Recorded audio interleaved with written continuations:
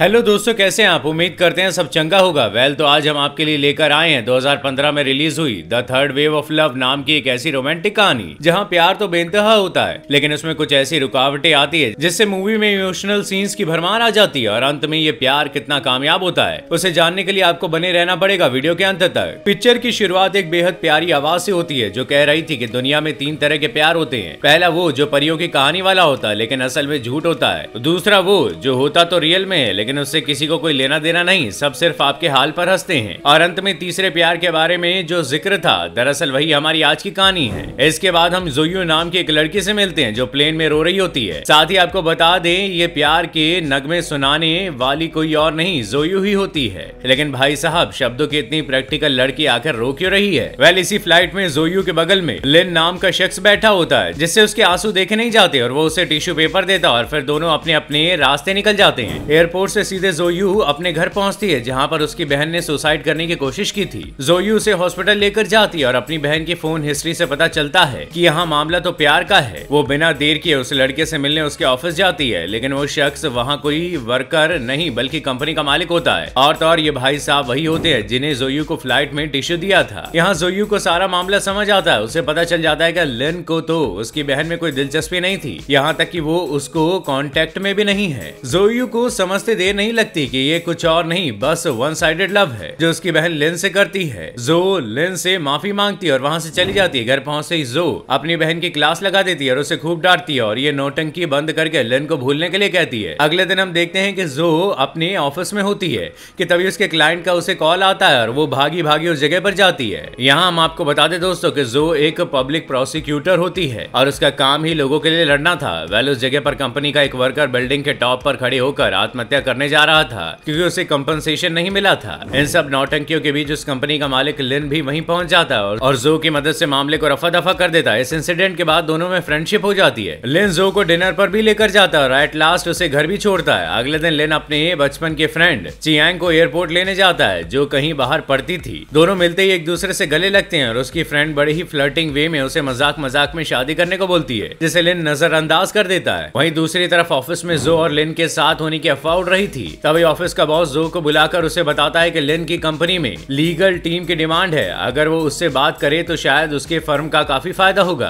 आखिरकार लिन की कंपनी में प्रेजेंटेशन देने के लिए उन्हें चांस मिल जाता है। और ये प्रेजेंटेशन जो का फ्रेंड देने वाला था, लेकिन अचानक से उसे दो नंबर आ जाती है। और वो बिना बताए वहाँ से नौ दो ग्यारह हो जाता है। अब सबकी नज़र जो पर होती है। आखिर अचानक उसे ये प्रेजेंटेशन जो देनी थी, वह सब कुछ ठीक होता है। और लिन जो के बाद से इतना इम्प्रेस होता है की उन्हें कॉन्ट्रैक्ट दे देता है। इतनी बड़ी कामयाबी के बाद पार्टी तो बनती है। जहाँ सब लोग पार्टी में मग्न थे, वहीं जो लिन के बाद जाकर कॉन्ट्रैक्ट के लिए थैंक यू बोलती है। क्योंकि वो जानती थी कि हो ना हो, ये कॉन्ट्रैक्ट उसे सिर्फ़ लिन की दोस्ती की वजह से मिला था। वरना कहाँ राजा भोज और कहाँ गंगू तेली? इसी दौरान लिन ना चाहकर भी अपनी फीलिंग जो से कन्फेस करने लगता है। और उसे बताता है कि वो उसको लाइक करता है और उसके लिए जो बन पड़ेगा, वो करेगा। लेकिन जो काफ़ी प्रैक्टिकल लड़की होती है, जो काफ़ी नापी तुली बात करती है। और अपनी इसी अंदाज में जो लिन से पूछती है कि अगर वो इस रिश्ते को एक्सेप्ट नहीं करेगी तो क्या वो कॉन्ट्रैक्ट खत्म कर देगा, जिसका जवाब लिन ना में देता है? जो को लगता था कि लिन उसे उसकी बहन की तरह पागल बना रहा है, इसलिए वो उससे कहती है कि अभी भी उसके पास समय है। वो चाहे तो कॉन्ट्रैक्ट कैंसिल कर सकता है, और ये बोलकर वहाँ से चली जाती है। घर पहुंचकर जो को पता चलता है कि कंपनी ने उसकी बहन का डिपार्टमेंट चेंज कर दिया है। ज़्यादा रिएक्शन न देकर वो उसे काम पर ध्यान देने को कहती है। आपको बता दे कि जो की बहन को उसके और लिन की नजदीकियों का अंदाज़ा सा हो गया था, और अगले दिन जो अपनी बहन को ज़बरदस्ती ब्लाइंड डेट पर भेजती है।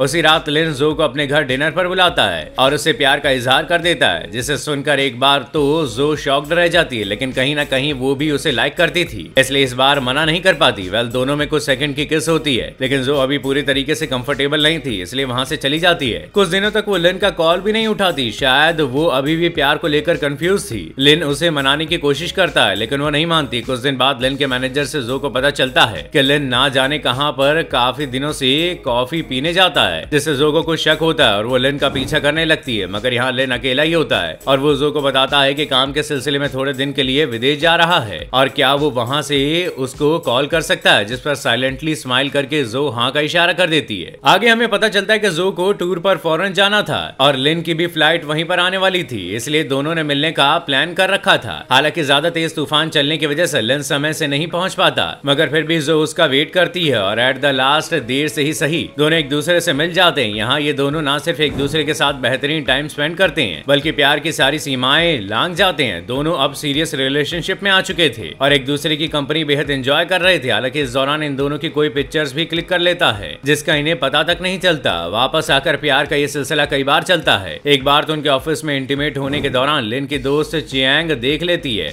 और उसे वहाँ लिन से पता चलता है कि वो दोनों जल्दी शादी करने वाले हैं। अपने बचपन के क्रश से उसकी शादी की बात सुनकर चियांग को बेहद बुरा लगता है, लेकिन वो शो नहीं करती और फिर हमें ये पता चलता है कि जो और लिन की प्राइवेट फ़ोटो अब लीक हो चुकी थी, जिससे लिन की कंपनी को काफ़ी घाटा होता है। वही कंपनी के रियल बॉस यानी कि लिन के फादर कंपनी के भलाई के लिए जो से लिन से अलग होने को कहते हैं। दूसरी तरफ़ जो अपनी इस बदनामी से टूट चुकी थी। उसे चियांग से ये भी पता चला था कि वो और लिन शादी करने वाले हैं, इसलिए जो अब किसी से नहीं मिलना चाहती थी। यहाँ तक कि लिन से भी नहीं। अब हम लिन को एक पार्टी में देखते हैं, जहाँ पर जो भी आई हुई होती है। लिन जो से बात करने के लिए उसके पीछे जाता है और उसे पकड़कर दोबारा अपने प्यार का यकीन दिलाता है। लेकिन इस बार ये बात इन दोनों में नहीं हो रही होती, बल्कि जो की नालायक बहन भी ये सब सुन रही थी, और उसे लगता था कि उसकी बहन ने उसका प्यार छीन लिया है, इसलिए वो अब अपनी जान देने के लिए उसे बिल्डिंग से कूद जाती है, और चाह कर भी लिन और जो उसे बचा नहीं पाते, हालाँकि नीचे व्हाइट चादर बिछा होने के चक्कर में उसकी बहन की जान बच जाती है, मगर जो पहले अपने प्यार और अब अपनी बहन की यह हालत देखकर खुद को काफ़ी कोसती है,